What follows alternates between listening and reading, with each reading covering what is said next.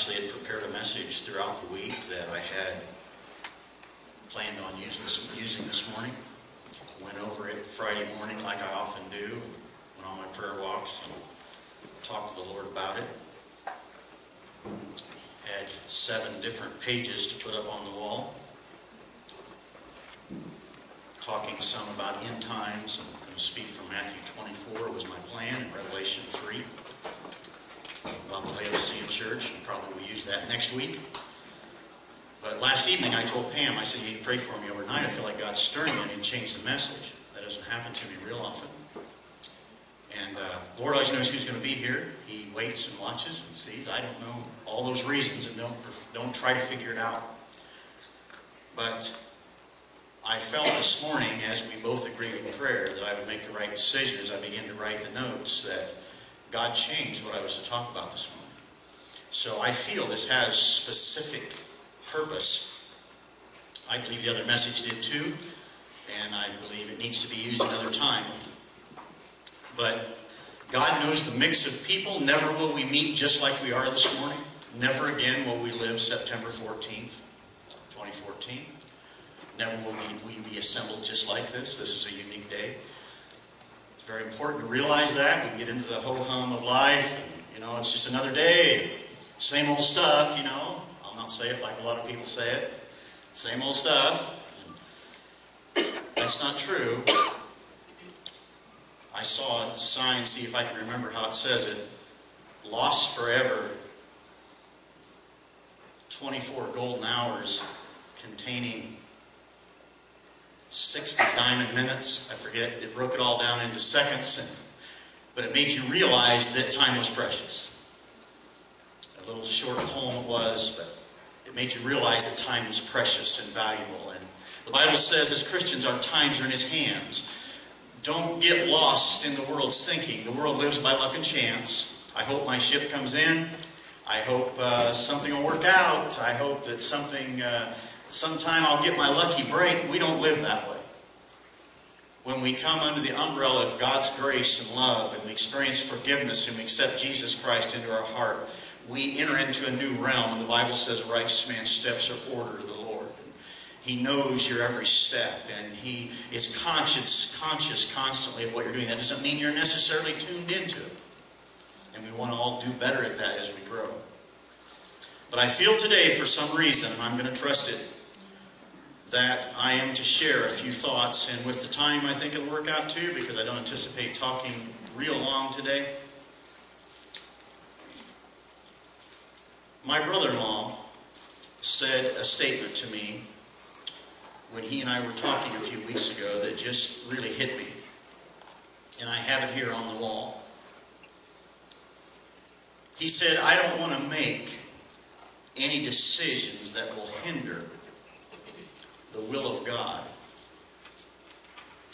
for my life. I want you to be extremely attentive this morning because I believe with all of my heart that this has significance today for this group. I don't want to make any decisions that will hinder the will of God for my life. American Christians,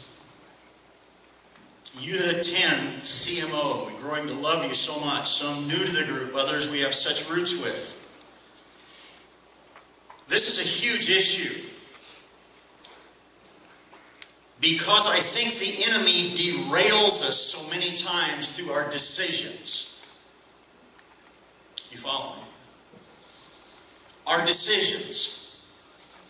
I often say to our church board, men, I know it's evening, I know we're tired, but, the, but what we're living out right now, we decided a year ago. We're living out what we decided a year ago.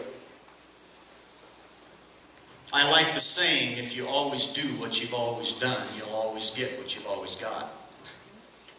A lot of people in my life isn't changing. Well, if you always do what you've always done, you will always get what you've always got. Don't do the same old thing and expect a different result. The Bible says we're going to do a new thing. God wants to birth something in our lives. He wants to do something in our lives.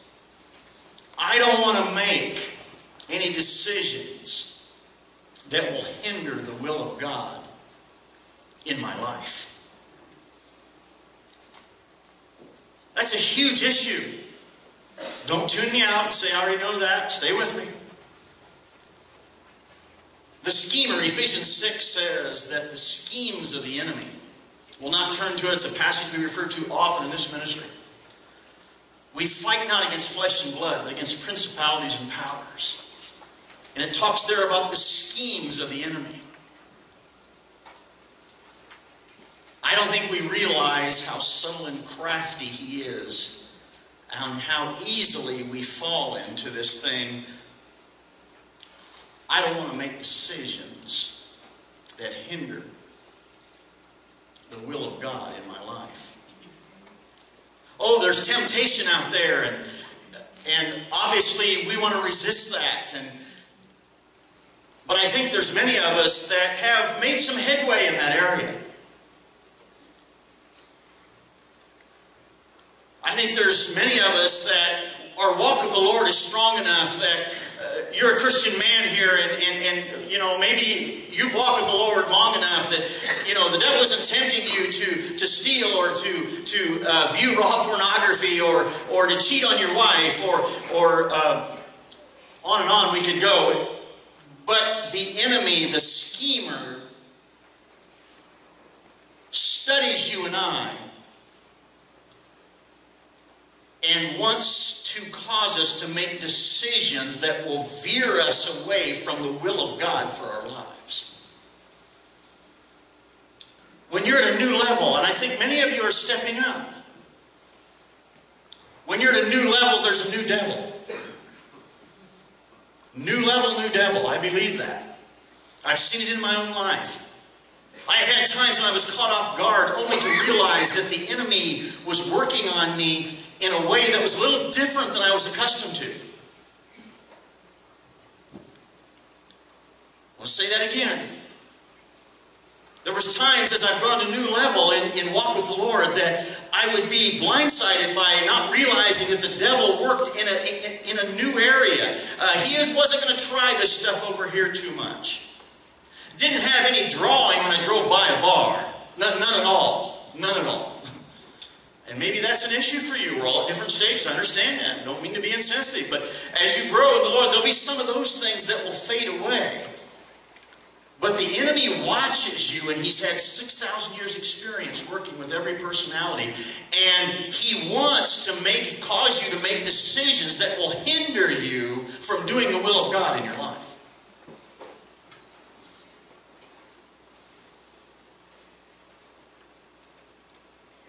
For it's in God's will and the center of God's will that we have peace and joy and empowerment and anointing and protection and fulfillment. It's in the center of God's will. I was in a prayer room one time. Kathy Reese was in there with us. We were having a prayer time. I heard her say something, stayed with me. She said, Lord, we don't want to be a click off we don't want to be a click off. Because, Lord, if I, as we talked about that statement afterwards, if you get a click off, it's just a click to start with. But as you move along, you're farther and farther. And there's things that the enemy isn't going to waste his time with you as he sees you're committed. He sees you in a worship service listening to Bryan's song and the, the, the, beautiful songs that were sung this morning, and, and, and he sees the look on your face, and he knows you, he knows you're committed. He knows you're serious about serving God. But he'll try to affect your decisions so that a year from now, stay with me. I'm going somewhere with this. So that a year from now, you're over here. I've seen this happen in my own life. I've had times that I had a sense I'd gotten off track, but I didn't know where it happened. And I would say, Lord, to avoid this, illuminate me. Show me where I got off. And he would say, it was this decision, or it was that decision. And they can be good things. I want you to be attentive to this. They can be good things. You might look at me this morning and say, Pastor, no stronger points than you're making so far. You seem pretty intense.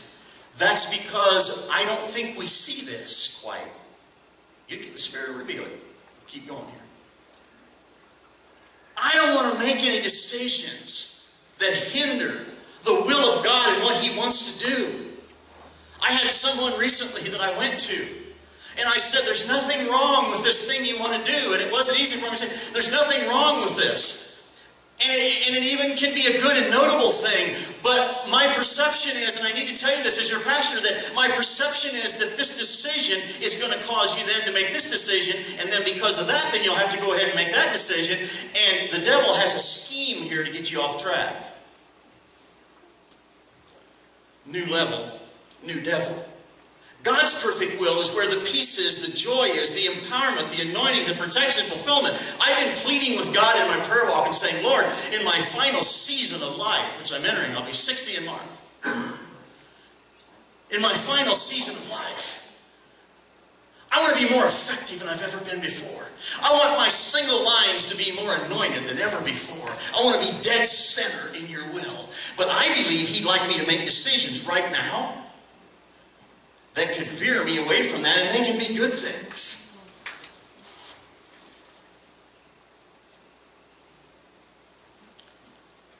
What is, for just a second, let's exit over here, stay with me.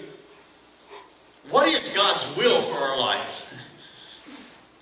Well, don't get hung up on that. First of all, due to time, I'm going to quote some things that other times I would turn to. What is God's will for our life? So we're just we're just moving over here onto the exit ramp for a second to the rest part. What is God's will for our life? If if if He tries to make decisions to affect His will, what if the devil influences his in decisions and wants to, what, what is God's will for our life? Well, first of all, John 17 makes it clear that it's God's will that we know Him.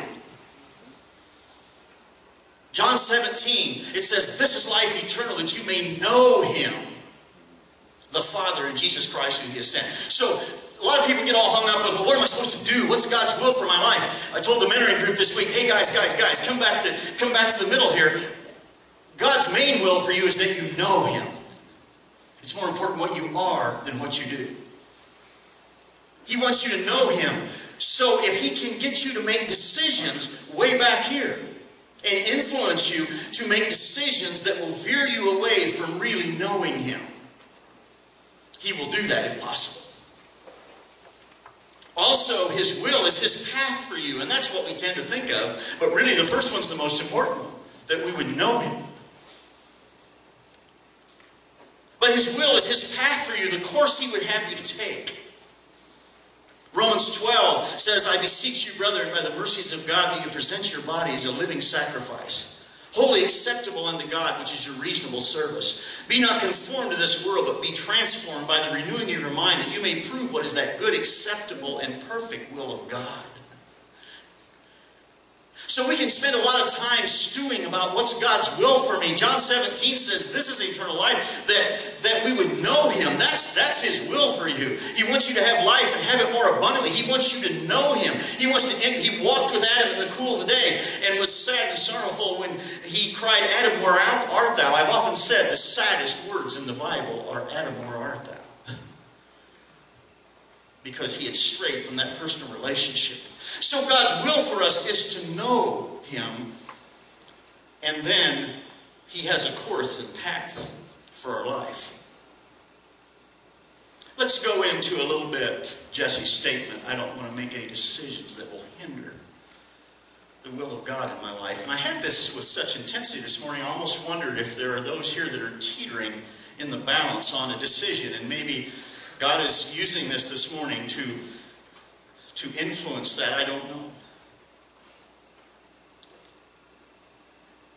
Jesse said to me, Tom, two years ago, he kind of smiled. He said, I wanted to buy a new motorcycle so bad. Nothing wrong with Jesse buying a new motorcycle. Jesse's been a faithful man, tithed his income, gave offering, been sacrificial. He said, and we were talking about this whole issue. He said, two years ago I went to buy a new motorcycle. And we had talked about maybe doing a little traveling together as we get older and things. And he said, Tom, I had an unrest in my heart about doing that. I could afford it. I could afford the payment.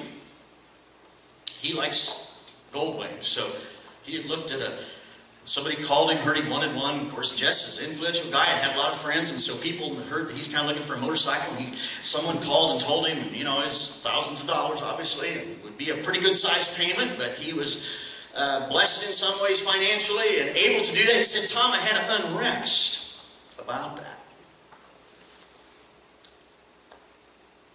And he said, finally, I just decided I'm going to keep the 87, 1987 bike that I have.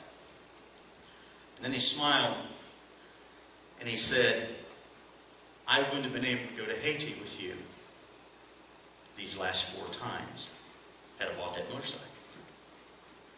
Now, anything wrong with buying a new motorcycle? No. Don't let the enemy. He said, I don't want to make any decisions that hinder the will of God for my life. You with me? The enemy studies us. That's why he's called a schemer. You're here, he's studying you. And he's watching you. He's watching me. He's had 6,000 years experience dealing with mankind. He knows our weaknesses. He knows our likes and dislikes. He knows our passions. And I think American Christians get sucked into this huge. He wants us to make decisions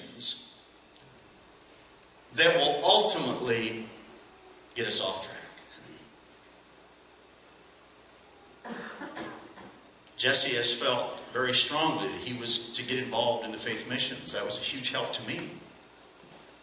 Shouldering quite a bit of responsibility, a big answer to prayer for me. I knew that we were to be involved and take this under our umbrella, and I knew that, that God had spoken to me, but I also had a strong sense and received the counsel of others as well that you can't do everything, even though there's need out there. And so, Lord, I wrestled some this year with a decision. And Lord, I felt that you did this. I don't think it was just emotion or attachment to my father. Or I felt we were supposed to do this, but you, you've got to work it out. I can't do this. The enemy is a schemer. If I can trip up Jess, I can hinder him from doing my will.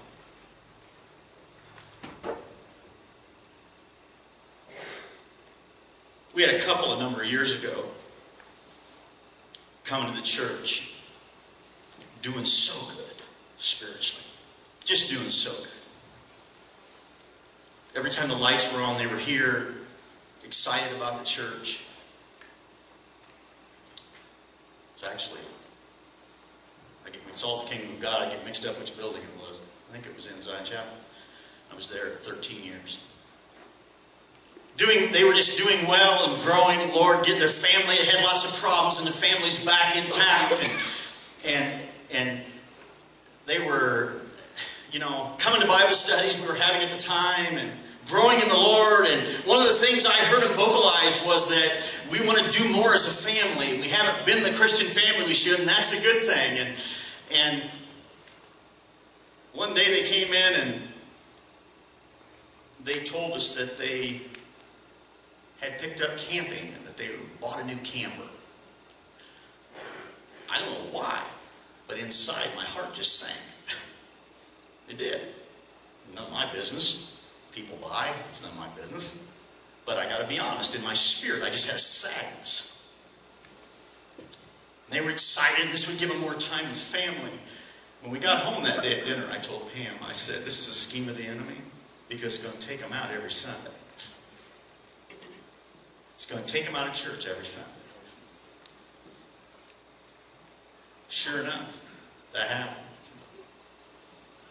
Wasn't long until camping was the greatest thing. Uh, nothing wrong with camping. We enjoy camping. It's a healthy thing. I'm telling you, the enemy works in subtle ways. Don't, don't take that wrong. But I think as American Christians, we need to be wise to that. Bryan just so appropriately sang, if it means more to me, if it becomes more important to me than God, then it's an idol. it's an idol.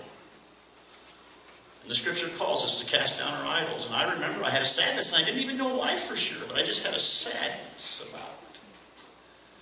And that afternoon, I felt the Spirit reveal to me why I felt that way. I said, You watch what's going to happen. They're going to begin missing every Sunday. And before long, this is going to become so important to them. And that's exactly what happened. I don't want to make any decisions that hinder the will of God in my life. You know, maybe you're supposed to start a camping ministry, and you're not even supposed to be here. And you're supposed to minister at campground. So God can work in all kinds of ways. So I don't want that. You could go out, you could misunderstand this message, and that's why it's a little tedious. I don't want to make any decisions that hinder what God wants to do in my life. I see Americans do that constantly. I think financially that's a big deal. We need new carpet, we need to do this, and the devil's constantly dangling something in front of us, and we get ourselves in a financial position where we are in dire straits. And we can't be. Has anybody relate to that? And we can't be what God wants us to be. We can't do. And we have to work so much to pay for it all. And the enemy sits back and laughs because he had that plan two years ago. There's a whole lot of wisdom in recognizing will this decision hinder the will of God in my life? I'll tell you, it works. It works. I've begun praying that way more and more. Lord, this looks good to me. It looks kind of appealing, and I'm excited about it. Is there anything about this decision that will veer me away from what I need to be?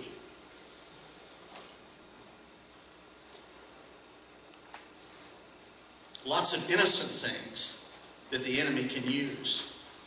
Ooh, I have written here, be careful. I have written to be careful on this one. Will you receive this?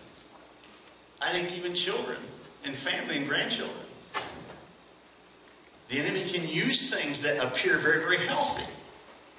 Will you receive that from me? Please. And he can veer you away from things that God would have you do and be. You'll know in your heart of hearts as you spend time with God, you'll know in your heart of hearts should be involved in. And just to give you a practical example of that, I want to say something about Steve and I. Steve and I are grandparents to two of the same kids. I think that God uses Steve in a way that I can't do because of my schedule, and I think it's supposed to be that way. There's things that Steve's able to do with the two oldest grandchildren, or the oldest grandchild, Braxton, and our only daughter, granddaughter, Addison, that I'm not able to do with my schedule and the way my weekends are. And so, we want to be in tune with what we're supposed to be. But I don't want to make any decisions that will hinder what God wants to do in my life. The scripture says that we need to be at a level of commitment where we Christ is absolutely first. That's where I want to be. decisions.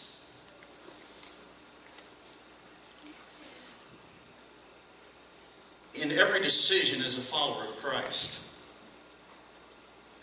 first we need to ask ourselves, is there any way this could hinder God's will in my life?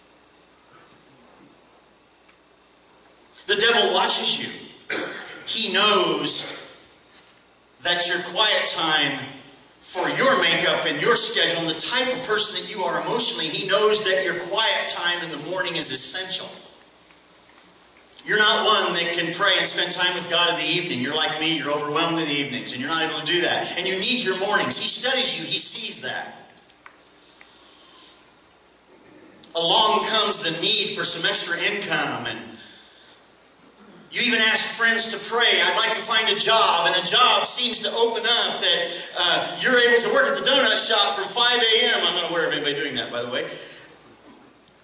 You're able to work at the donut shop from 5 a.m. till 9, and you're jumping up and down with joy because you're happy because you're going to be off at 9 and have the rest of your day, and you've got four hours out of the way, and you can make some extra money when the enemy himself knows that your quiet time in the morning is your best time and essential time.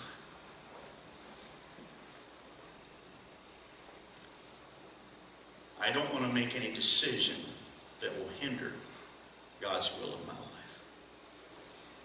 So when we make a decision, four simple things. Is there any way this could hinder God's will in my life? Number two, when I'm all alone with God, do I feel uneasy in any way about this decision?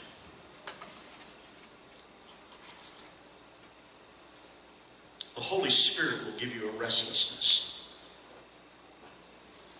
Jesse told me when he was looking at motorcycles, he said, Tom, every time I go look at one, he laughed about it. He said, every time I go look at one, he said, you know how we like motorcycles. He said, every time I go look at one, I would just have an uneasiness, and I'd tell Miriam, I'd say, well, I just don't have peace with God about this. Nothing wrong with a man who's been faithful and helped and given and sacrificed and given time all his life like Jesse. Nothing wrong with owning a motorcycle. Nothing wrong with that. Don't believe. James, it says, God gives us all things richly to enjoy. But I think that this is a pitfall, especially for American Christians, because I think he studies us and he dangles in front of us these opportunities, these things, and wrong priorities to get us to make decisions because he knows it'll ultimately veer us away from what God would have us do and be. And Jess said to me, Tom, I'd have never gone to Haiti with you and taken this new position in the mission had I done gone the route I was going to go. Beware of the enemy's schemes. When I'm alone with God, do I feel an uneasiness in any way about this decision? Don't override that. Daddy used to call it spiritual sense of smell. When you discern something just doesn't feel right, something doesn't sense right to you. And I want to tell you that that ability, and, and people are gifted in different ways in the body of Christ. Now, I'll, go in, into that in just a second. But I believe that every Christian, there's a difference between being given the gift of discernment. Sometimes a person is especially gifted Maybe someone's especially gifted prophetically or, or in a variety of ways, but there's, there's a difference between being definitely gifted in discernment. Every Christian has the Holy Spirit if they seek Him. And the Holy Spirit will guide us and guard us. John 14, 15, 16, and 17, where Jesus was leaving and described the Holy Spirit, he was very clear that the Spirit would lead us into truth. And the Spirit will give you an uneasiness. Don't override that. Every time I have overrode a prompting from the Holy Spirit, I've lived to regret it. Every time. I've had times when I had an uneasiness with a person. Pam could tell you this. I've had times when I would meet somebody and everybody, man, they, did they have bells and whistles? And everybody just thought they was the greatest person in the world. And I'd tell her, I'd say, there's something wrong. there is something wrong. When I shake hands with that person, when I look them in the eye, I feel something in my heart. Something isn't right. Every time I've overrode that, I've lived to regret it. I had a man a number of years ago. Man, oh man, just seemed like the greatest thing in the world. And I just had an uneasiness with around this guy. Finally, due to all he was doing in the church, and I thought, man, I must be nuts because a lot of people thought, man, is the greatest guy in the world. So I got this guy involved only to greatly regret it. And then I felt like the Lord said, I tried to tell you that, and you weren't listening. That uneasiness that the Spirit gives us, that guiding light of the Holy Spirit, hear me here, that comes in your quiet time. Now, some people are just gifted more in discerning. I understand it, and I'll get to that in a minute. But don't cop out on that. Because the Holy Spirit will guide you in decisions. What happens is, is the schemer does everything he can to keep us from having our quiet time because it's in our quiet time that this ability is developed. It's in our time with God, alone with God, that He teaches us, instructs us. I don't know how He does it, but He does it. He develops us, and, and, and then we're sensitive to His Holy Spirit. So when I'm alone with God, do I feel uneasy in any way about this decision? Number three, what is the counsel of older, deeper Christians? There's people around you that have spent more time with God than you have. And you can be prideful if you want. Will you receive this from me? You can be prideful if you want. and Say, well, I know just as much as the next guy. There's no exception there's no replacement for experience and years with God. And every time I've had a crucial decision in my life, I have sought out people. I'd take and drive up to my older brothers. Jim, he's 16 years older than me. He has walked with God. That man has put himself away in a room and prayed every day of his life. I'd go up and say, Jim, you know what I'm thinking of doing. How do you feel about it? What is your counsel on that? if we're stubborn and stiff-necked, nobody's going to tell me, rebellious. There's a young man I've worked with over the years that has hit his head on the same pole 20 times. At what point in time will we take instruction? We call it anything we want, but a rebellious spirit God can't use. When I'm alone with God, first of all, is there any way that this, this decision could hinder the will of God in my life? When I'm alone with God, do I feel uneasy in any way about this decision? And what is the counsel of older, deeper Christians? God will be faithful to you. He'll back up that uneasiness with someone you have confidence in. You bounce it off of them and they say, oh, I don't know, you know? Nothing wrong with that. I can understand why you want to do that. In some ways that looks like a good opportunity for you, but will that job, will that job, you always tell me that it's in the mornings when God speaks to you. Will, will that job take you out of that? Can that ultimately hinder what God want to do in you? First of all, He wants you to know Him. Will that hinder that in any way?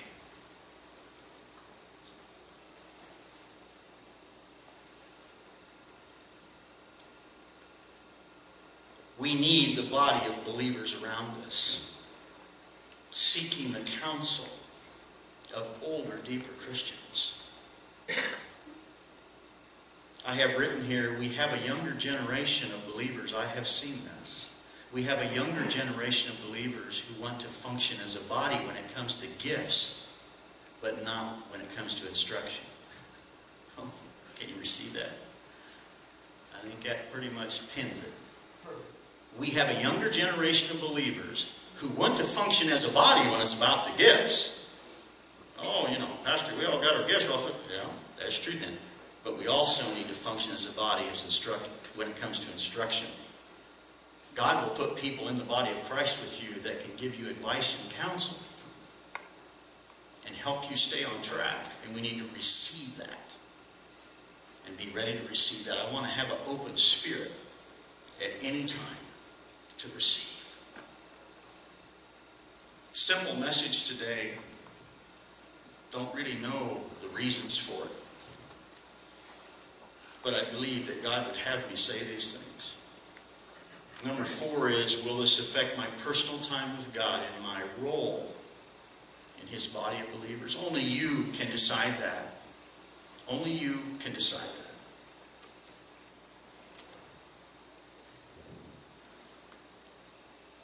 I don't want to make any decisions that will hinder the will of God in my life a number of years ago. Christian man and I that sang together, Tom Correll. We had a quartet. Boy, did we have fun. Went to Betty Correll's funeral this week, and it was just so refreshing. My brother Jim drove down from Fort Wayne, and we sat together. And of course, Jim and I and Rod and Tom Correll all sang together for years, clear in our early 20s, and we spent a lot of time singing. Before I ever pastored, we were singing together. And we went to different states and sang, and we'd sleep in the basement of churches. We had a good, really a good time. And so it was so good to see them. Tom and I good, made good friends. I had my real estate license. The truth is, looking back on it, I was a little irritated that the ministry hadn't opened up. I wanted to be in the ministry full time. And I was a little irritated God wasn't doing it fast enough to suit me. I didn't see that at the time. Looking back, I see that. God wasn't working it out fast enough me. So I decided, even made the statement, because God reminded me of this statement a few years later, I'm not going to work at Kroger's forever. I'm getting tired of this. I'm going to do something. Well, what that was rooted in is, is that I was just a little irritated because God hadn't worked things out at the speed I thought he should. So I got the bright idea I was going to get my real estate license. So I started studying and went over to Kokomo and took uh, actually uh, Charlotte Curry's half brother, Dave Hires. He and I were friends made friends through that, had known each other in high school. We did some studying together at the library, and I got my realtor's license. And only to find out that there was a whole lot of things that happened in that business that I didn't feel real good about. You couldn't sleep real well. after you did some of the transactions. There was a lot of things in that business that troubled me.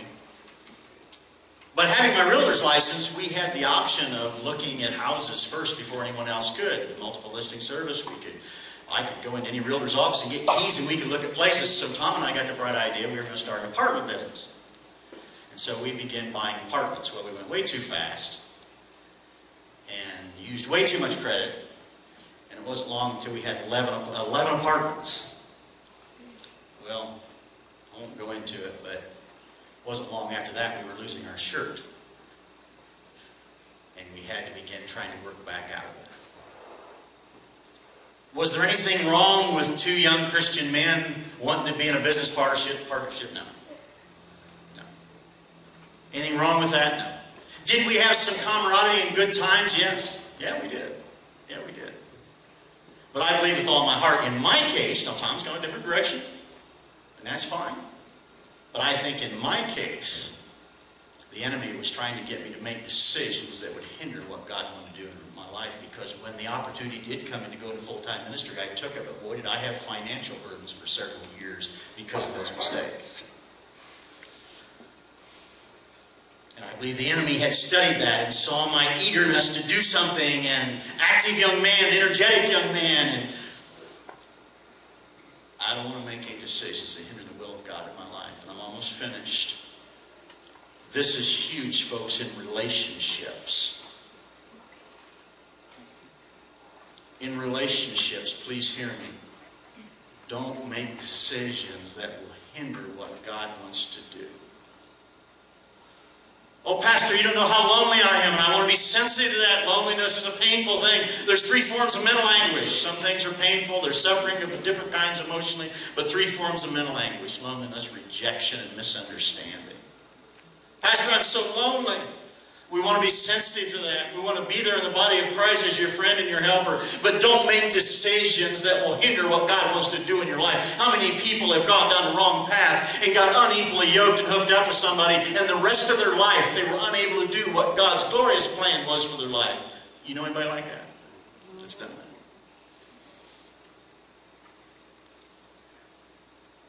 They spent their life in a constant tug of war because the devil walked him into a decision. The answer is time with God. Don't be fearful. Don't be paranoid or the response to the message thinking, oh boy, he's got me scared half to death decide anything. No, no, no. The four things I had. First, ask yourself the honest question and let the Holy Spirit speak to you. Could this hinder the will of God? Do I feel any uneasiness? What is the counsel? And I think we really dropped the ball on that of older and deeper Christians. You know that usually when something's in a big hurry, it's a mistake? Uh-huh. Might as well shake your head this way. Usually when something's in a big hurry, oh, this is the right thing, you do this right away. Now, that's one red flag right there. Whenever something's in a big hurry, it's usually a mistake. If God actually wants something done in a big hurry, he usually just does it without us messing with it. He'll just do it. It'll just happen. There's times something will just happen, and you look back and you say, well, that's over with. Because God went ahead and did it, because He operates in a different way, and He wants us to be patient and think and take our time. What is the counsel of others, how will this affect my personal time with God? Relationship decisions. That's huge.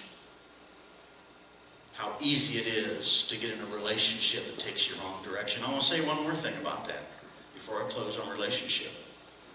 I don't want to make any friendships that might surprise you a little bit. Well, I don't want to make any friendships that veer me away from what God wants me to be. You hear me? I don't want to make any friends. I feel Lord's thumb in my back on that one. I don't want to make any friendships that veer me away from what God would have me to be. There's a guy a number of years ago, very few of you here would even know him if I say his name. There's a guy a number of years ago that I made friends with. I felt God spoke to me. His priorities were just different.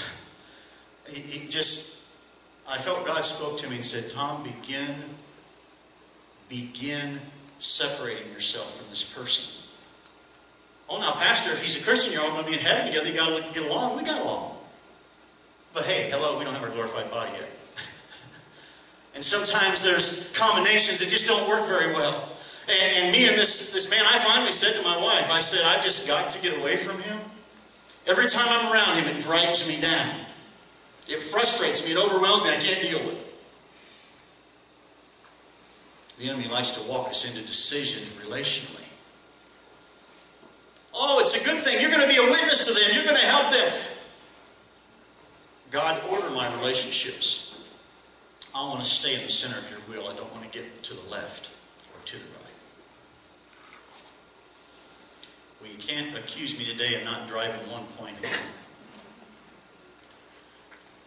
But that's been on my mind, and I felt I needed to share it. I am going to close. It's 20 to 12. Don't make any decisions that will hinder the will of God in your life. Let's stand together for prayer.